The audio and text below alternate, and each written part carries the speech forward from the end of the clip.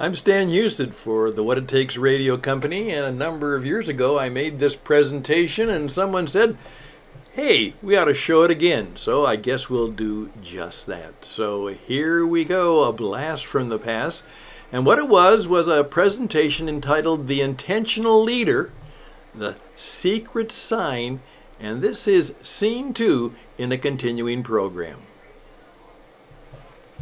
Welcome back. And you didn't have to come back, did you? we decided to switch the channel. You could have left. And you see, if I'd given a bad first show, you'd have left. That's true for everything you do. In effect, I have to keep buying the next five minutes. I do. I'm always trying to buy five minutes of your time. Because remember, if I want that five minutes, you're going to be five minutes closer to being dead. And so I'm always buying time by using the same formula, right? Attention, interest, desire, decision, and action. And the goal was that you would come back. And you did. At least most of you did. By the way, if somebody had would decided to leave, that's okay because they have actually made a good marketing decision. They have decided this isn't for me. Or I don't like him. You know. Remember, the purpose of marketing is to help the nose say so faster. That's all. Just them to say faster. Now, with that in mind, I want to hopefully teach you some new things, and I hope that was new to you. By the way, it is incredible that all of you have gone through many of years of education and no one ever taught you the AIDA formula. Until now. Yet it is the most important thing you need to know for business success. Every speech, every sermon, every presentation, everything you say has to attention, interest, desire, decision, action and you didn't hear it until now. What's wrong? Well, Peter Drucker will tell you what's wrong. Years ago, this is what Peter Drucker said on Forbes magazine. This is my favorite magazine cover. Everything you've learned is wrong. By the way, that's a good motto for life. I take it even into my faith. Jesus, you know what I've discovered in the last year? A lot of things I thought I knew about God and love and business, they were wrong.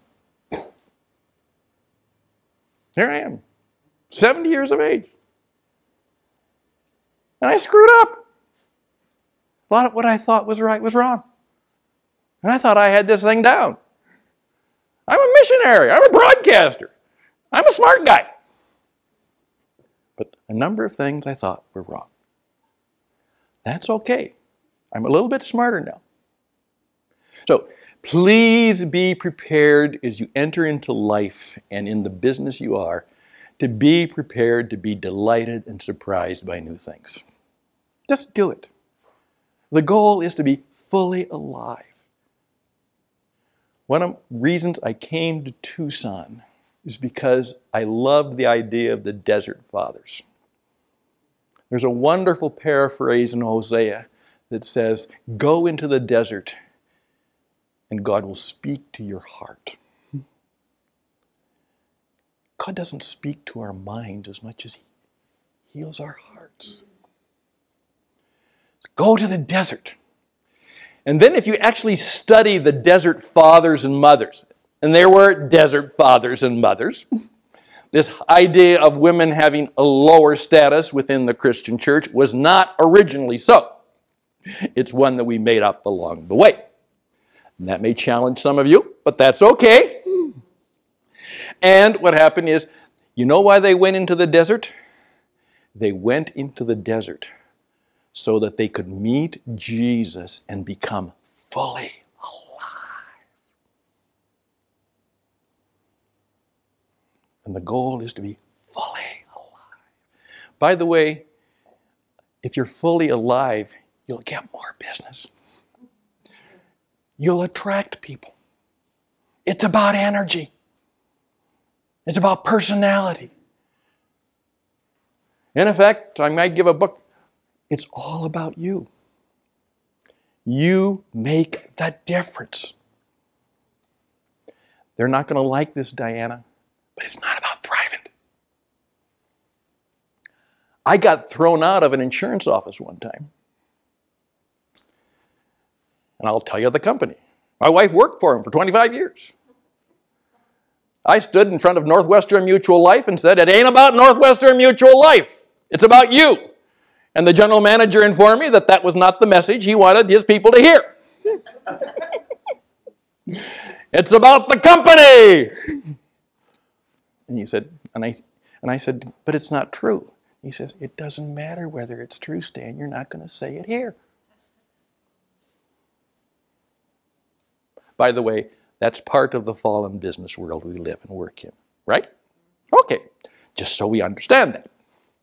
Now, uh, I'm going to teach you the second major thing you need to know, and that is everybody you meet is wearing a secret sign. Did you know that? Everybody. Steve is wearing it. I'm wearing it. Charity's wearing it. Zveno, I love that name. You know, I love your haircut too. You know, we got to, you know, Stan, Zveno, great haircuts, you know. It's part of our shtick, you know, right? By the way, we all have a shtick. It all depends on how well you play it. All right? And um, most people don't pay any attention to the sign. Did you, did you know we have a, everyone has a sign? Do you know what the sign says? Well, I'm going to tell you what it says.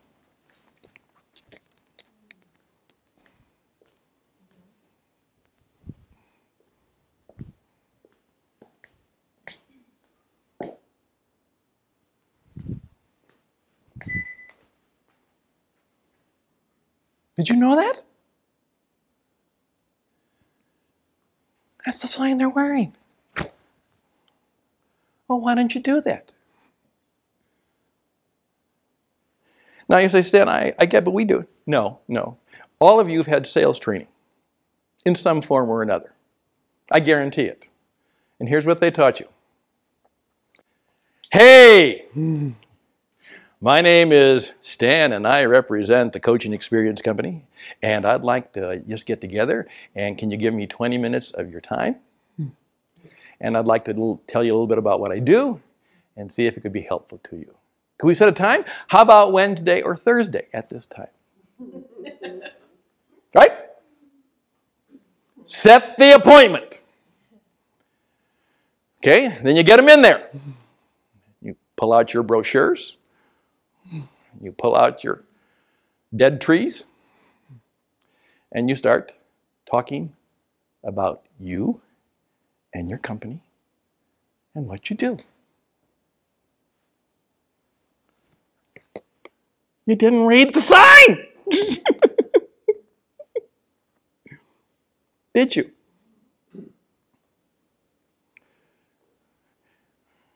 Now, that sales training, and by the way, even that marketing is taught all around the world. It's a lie because they're not reading the sign. Don't do that. Now, I'll illustrate it even further. Let's assume that I would have used typical sales language when I met this cute little girl named Karen. 49 years ago, 50 years ago. It's hard to believe. As we say, you know, opposites attract, they also attack.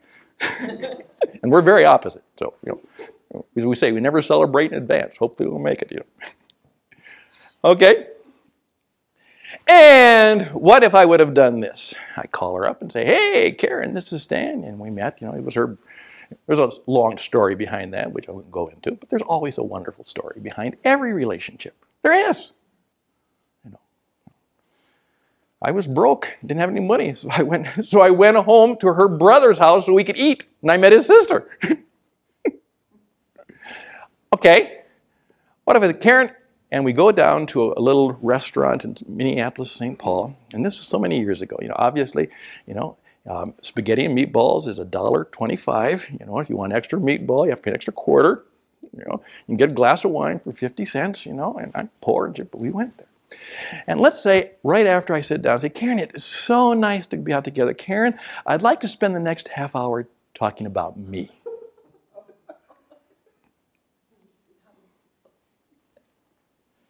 Wouldn't that be a great idea? Wouldn't that be great? How do you think that's going to go over with Karen? Hmm. That's how you were taught to sell. I'd like to spend the next 20 minutes talking about me and how wonderful I am and how good I am. And the whole time, Karen is showing me the sign, and I'm just not paying attention to it. Now, let's say I survived that.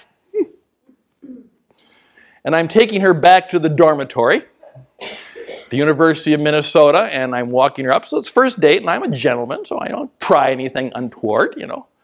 However, I bring her up to the dormitory, and then I say, Karen, you know I've had a wonderful time, and obviously, Karen, you know that I really like girls.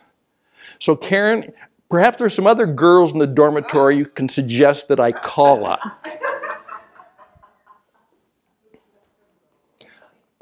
I'm asking for referrals.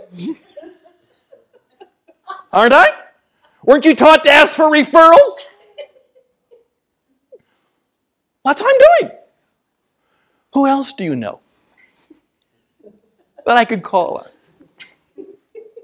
And you're all laughing, and all of your bosses taught you to sell that way. Didn't they? No, that's different. What I've just told Karen is this whole encounter is about me. It's all about me. I want to talk about me. I want you to give me money. And then I want you to help me build my business. Because you know what, Karen? It's all about me.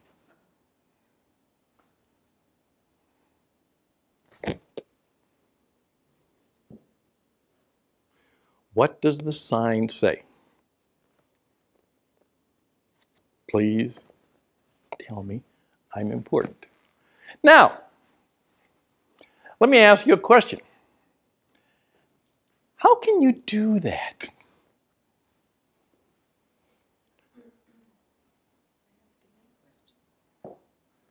Asking them questions. Oh. Now, did you notice, as I said, I gave my first lessons, I did not ask you what you did or where you were from. I said, Please tell me your story.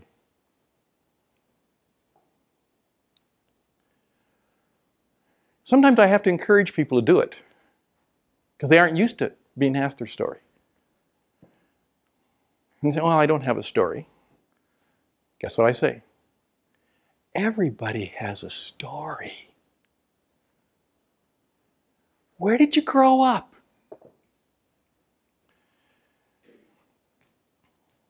A few years ago, there was a man uh, I met at a party, but I met him via his wife.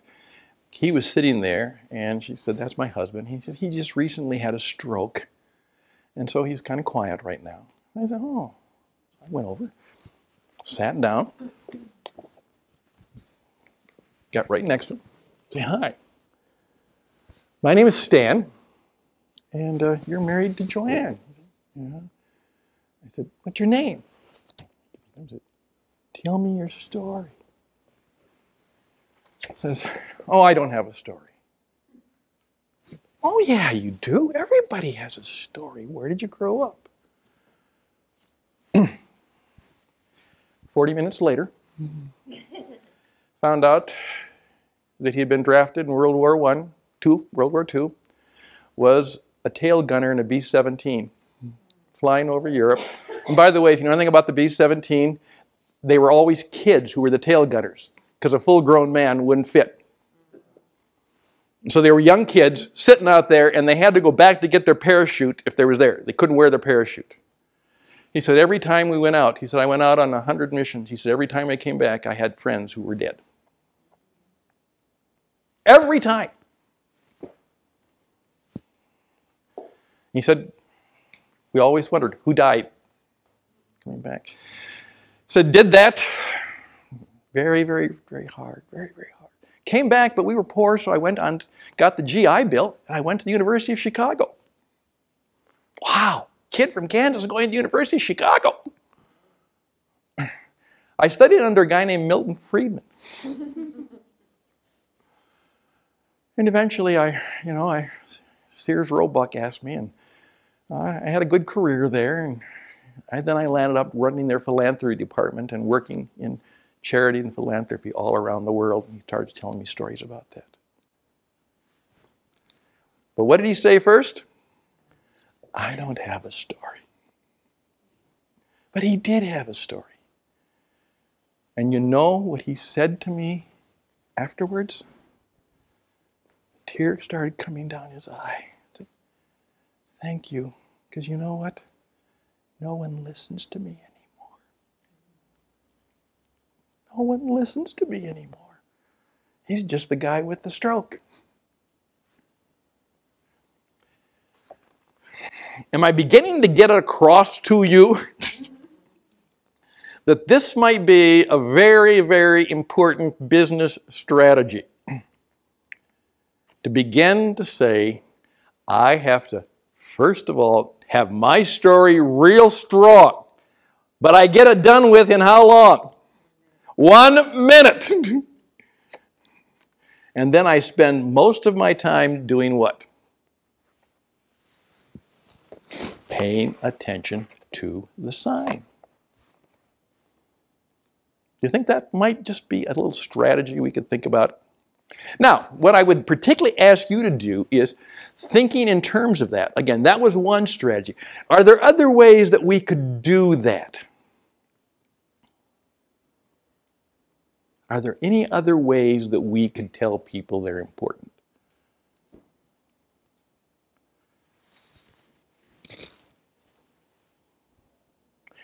This is one of the ways I use. Uh, I like to make pens. Fun. By the way, there's a theology behind that because I spent most of my life marketing, messaging, and doing things like that. Managing marketing and messaging. Unfortunately, I am not living a biblical lifestyle that way. Because God made us to make things. Did you know that? We were made to be creators of things. And all of a sudden, I realized that I had spent all of my life marketing, messaging, and managing, and I had never done any make. And I can't make anything. I'm a klutz. and I discovered that if I truly want to live biblically, I have to have something like St. Paul says, I will actually make something. Uh, St. Paul was a businessman. Did you know that? Now, a lot of people get that all screwed up. They think that whenever he was short of money, he went out and made a few tents. No. I have a whole talk on St. Paul entrepreneur. St. Paul was able to do missionary work because he was, first of all, a businessman. How do you think he became a Roman citizen? Because the Romans liked Christian missionaries? No, he was a businessman. By the way, he couldn't work for anybody else. You know what kind of person he is. And as I say, you know, being a businessman is the only way you can make money while you're still in jail, which is what he did. And so for years, we in the church have put the fact that a person is a businessman at a lower level. St. Paul was a businessman. By the way, I've got another talk called The Four Secrets of Success You Can Learn from St. Paul's Prison Letter. But that's another talk, and you're going to have to pay for that one. All right? But the secret of success is found in St. Paul's letter from jail. But you want me to give you that one? You got to buy it. Fair enough? All right. There's a little sales pitch for you. Okay, now, uh, I make these. I love it. Now, I'm not going to do it now because I promised this to someone else. But oftentimes, what I'll simply say is, oh, that's a nice pen. I said, I make it. These. I describe why I make it. Then I use the magic words. Kathy, this is for you. This is for you. Now, I learned that as a broadcaster because I was really good. Did late night radio. I was really good at it. By the way, you had to be careful because you know what? I found out the AIDA formula. If you're not very ethical, you can sell Jesus as well as you can sell soap. Mm. Are you lonesome tonight? Would you like someone who sticks closer than a brother? In fact, what drove me crazy one time is I found out that that marketing formula was being used by Christians that actually try and sell Jesus. And I said, we ain't going to sell Jesus the way we sell soap. We can sell soap and stuff. We're not going to do that. That's a different thing. There's a theology of communication, but that's another show which you'll have to pay for. All right? So, but I did learn this. We'd get requests. People say, and uh, I would oftentimes pause. Remember, it's late night, So change the tone. And tonight we have a request from Barbara, who lives in Kingston, Jamaica. Barbara, thank you for listening. I'm so glad to know you're out there. Barbara would like us to play One Day at a Time by Tennessee Ernie Ford. Oh, they love that song. By the way, I found out there's a reason why they like One Day at a Time because that was their experience. Unlike those of us in the West who don't have to worry about where we're going to eat tomorrow. One day at a time was their deal. I'd say, okay, this song is requested by Barbara in Kingston, Jamaica. She wants to hear One Day at a Time by Tennessee Ernie Ford. And then I would pause and I would say, Barbara, this is for you. They loved that. This is for you.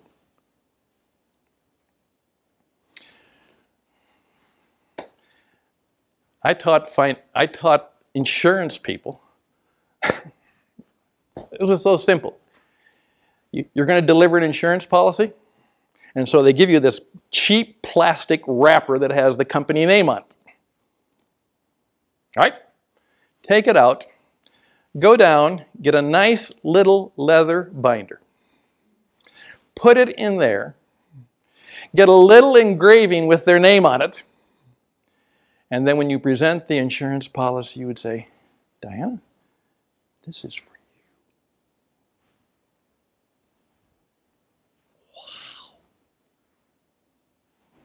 You had it engraved just for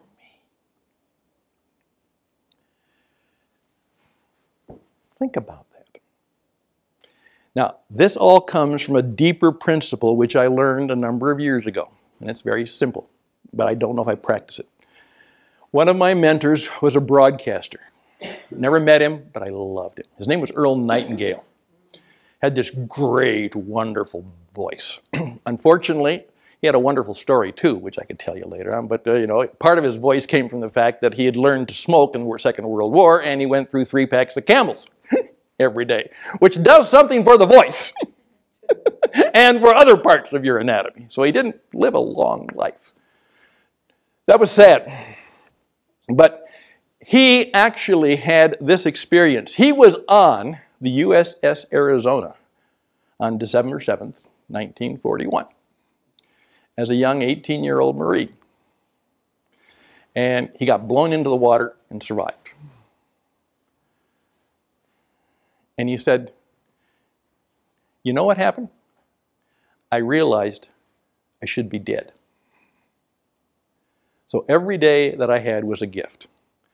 What is there to lose? What can they do to me? I should be dead. Isn't that a great lesson to finally put? I should be dead. I have a friend, a lawyer a friend of mine, we actually worked out this marketing slug when people came in and said, okay, they wanted to sue people. And said, oh, well, What are you hoping for? Well, it's just, I just want to get what I deserve. And our line was, Oh, no, you don't. You don't want what you deserve. if you got what you deserve, you'd be in big trouble. We're going to ask the question, What do you want? Not what you deserve. So you deserve to die. Did you know that? Check your theology. You don't even deserve to be here. You should be dead. You know that. You should be dead, right? Absolutely. There's so many things. You should be dead. But you're not. Grace is amazing. Earl Nightingale said this. He said, if you want to be successful in life, you have to understand that you're successful in life is because you treat every person you meet as if they were the most important person in the world. Treat every person you meet as if they were the most important person in the world. A few years ago, one of the companies I had was told that President Bush might be coming through from landing in the Minneapolis airport and coming through, and he was probably going to stop at their office, little insurance office. And so, guess what they all did? Whoa! they cleaned up the office. They got it all arranged and made it all pretty and took all the dumb stuff off. And they all got dressed up. But the schedule didn't work out. President Bush didn't stop. And they were disappointed. And I said, No, President Bush didn't stop here. Just your clients and customers stop here. That's all. The, the only people who come here are the clients and customers. Do we dress up for them? Hell no. Do we treat them as good as we treat George Bush? No. Treat every person you meet as if they were the most important person in the world. Now, I want you to begin thinking about that. You walk out, see the receptionist, you know, person at the car wash, everybody you meet. Just say, I wonder what I would do. How would I respond if I really believed this was the most important person in the world? Would I respond any differently than I am? And you know why you should treat them as the most important person in the world? Because they are because they are. And by the way, so are you. The Lord Jesus died for you. And what I finally understood that if the story went this way, that the great eternal heavenly thing would say this is, hey, it worked out perfectly. Everybody got it right except Stan Hustad, that one character in the 20 21st century, he screwed up. And if that would have happened, the Lord Jesus would have stepped forward and said, I got to die for Stan. And he would have done the same thing for you because you're the most important person in the world.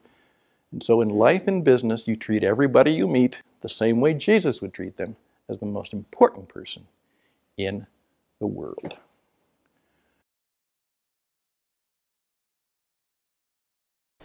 And thank you for watching our just more than a few years ago program, but we still believe that we have some very good things that can help you on the same subjects, the same idea, and perhaps with a, a little more wisdom and experience in our own life. So again, reach out to us, stanhustad at gmail.com, stanhustad at gmail.com. Check out our YouTube channel, Reaching Your Audience how to be a world-class podcaster. And uh, leave a message, 520-664-7002, and we'll be happy to uh, get back to you. All the best and blessings to you, and this is brought to you by the What It Takes Radio Company.